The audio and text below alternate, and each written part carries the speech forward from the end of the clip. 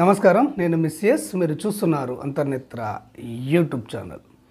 Sir ఈ BC lakh రూపాయల పథకానికి సంబంధించి ఎంపికైనటువంటి వారికి ఆ వివరాలు ఎలా తెలుస్తాయి? ఎంపిక ప్రక్రియను ఏ విధంగా చేస్తారు? దయచేసి తెలియజేయగలరు అని చాలామంది మిత్రులు అడగడం అనేది జరుగుతుంది. ఇక్కడ మనకు జిల్లా స్థాయి ఉన్నతాధికారులు తెలియజేస్తున్నది ఏంటి అంటే లబ్ధిదారుల ఎంపికలో ఎలాంటి అవకతవకలకు తావివ్వకుండా పూర్తి పారదర్శకతతోటి అర్హత కలిగినటువంటి వారినే ఎంపిక చేస్తున్నట్టు కూడా వారు తెలియజేయడం అనేది జరిగింది. ఇక్కడ ప్రభుత్వం పేర్కొన్నటువంటి కులాలలో పద్నాలుగు బీసీ కులాలు ముప్పై ఆరు ఎంబీసీ కులాలలోనే అర్హులైనటువంటి వారినే ఎంపిక చేయడం అనేది జరుగుతుందని వారు తెలియజేస్తున్నారు. ఈ పద్నాలుగు కులాలలో కుల వృత్తిని ఎంచుకొని జీవిస్తున్నటువంటి వారికి ప్రాధాన్యం ఇవ్వడం జరుగుతుందని ఇందులో కూడా మనకు వికలాంగులు వితంతువులు మరియు ఒంటరి మహిళలకు ప్రాధాన్యం ఇస్తూ ఎంపిక చేయడం జరుగుతుందని ఆ తర్వాత చదువుకొని నిరుద్యోగులుగా ఉన్నటువంటి యువత ఎవరైతే కుల వృత్తులు చేసుకుంటూ జీవిస్తున్నారో వారికి కూడా ఇందులో ప్రాధాన్యతను ఇచ్చి సెలెక్షన్ చేయడం జరుగుతుందని మనకు జిల్లా స్థాయి ఉన్నతాధికారుల నుంచి ఇన్ఫర్మేషన్ రావడం అనేది జరుగుతుంది. క్షేత్రస్థాయిలో వారు వృత్తి పని చేస్తున్నారా లేదా అనేది కూడా మనకి ఇక్కడ డోర్ టు డోర్ సర్వేలో తెలిసిపోయిందని దానిని బట్టి కుల వృత్తులు చేస్తున్నటువంటి వారికి ప్రాధాన్యం ఇవ్వడం జరుగుతుందని కూడా వారు స్పష్టంగా పేర్కొనడం అనేది జరిగింది. ఇప్పటికే మనకు మండల స్థాయిలో గ్రామీణ ప్రాంతాల్లో డోర్ టు డోర్ ఇంటింటి సర్వే పూర్తయిందని వాటి వివరాలన్నీ కూడా జిల్లా స్థాయికి ఆన్లైన్లో అప్లోడ్ చేయడం జరిగిందని కూడా వారు తెలియజేస్తున్నారు. ఇక జిల్లా స్థాయిలో బీసీ వెల్ఫేర్ అధికారులు మరోసారి ఈ యొక్క లబ్ధిదారుల వివరాలను అంటే దరఖాస్తుదారుల వివరాలను జల్లెడ పడుతున్నారు. ఎందుకంటే గతంలో వీరు ఏమైనా లోన్ తీసుకొని ఉన్నారా?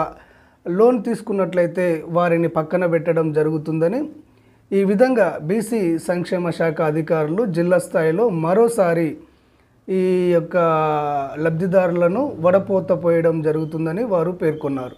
ఈ విధంగా రెండు మూడు రోజుల్లో జిల్లా స్థాయిలో ఈ ఎంక్వైరీ అనేది పూర్తి అవుతుందని ఈ విధంగా ఎంక్వైరీ పూర్తి అవ్వగానే మనకు జిల్లా కలెక్టర్ ఆధ్వర్యంలో ఉన్నటువంటి సెలక్షన్ కమిటీకి అరువుల లిస్టును అనర్వుల లిస్టును రెండు వేరువేరుగా ఆన్లైన్లో అప్లోడ్ చేసి అరువుల లిస్టును జిల్లా కలెక్టర్కు ఫార్వర్డ్ చేయడం జరుగుతుందని వారు తెలియజేస్తున్నారు. ఇక తర్వాత జిల్లా కలెక్టర్ గారు వీటిని పరిశీలించి ఆ జిల్లా ఇన్ఛార్జ్ మంత్రి సహకారంతో ఫైనల్గా లబ్ధిదారుల లిస్టును ఎంపిక చేసి వారి వివరాలను డిస్ప్లే చేయడం జరుగుతుందని కూడా ఉన్నతాధికారులు తెలియజేయడం అనేది జరిగింది. అయితే ఇక్కడ ఎంపికైనటువంటి వారి వివరాలను ఏ విధంగా డిస్ప్లే చేస్తారు అంటే ప్రతి మండల కేంద్రంలో కూడా ఆ మండల పరిధిలో ఎంపికైనటువంటి వారి వివరాలను మండల ఎంపీడీఓ కేంద్రంలో లిస్టుగా డిస్ప్లే చేయడం అనేది జరుగుతుంది. అదేవిధంగా గ్రామ స్థాయిలో ఒక గ్రామానికి ఎంతమంది సెలెక్ట్ అయ్యారు అన్న వివరాలతో కూడినటువంటి లిస్టును ఆయా గ్రామ పంచాయతీల వద్ద డిస్ప్లే చేయడం జరుగుతుందని కూడా వారు తెలియజేస్తున్నారు.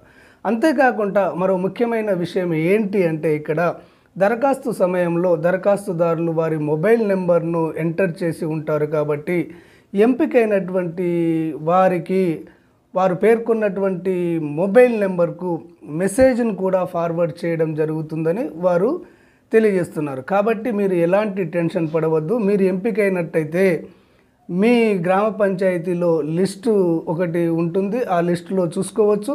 మీకు ప్రత్యేకంగా ఒక మెసేజ్ కూడా రావడం అనేది జరుగుతుంది. మీరు దళారుల మాటలు నమ్మి ఎవరికి డబ్బులు ఇవ్వవద్దని ఇక్కడ ఎంపిక విధానము పారదర్శకంగా జరుగుతుందని జిల్లా స్థాయి ఉన్నతాధికారులు తెలియజేయడం అనేది జరిగింది.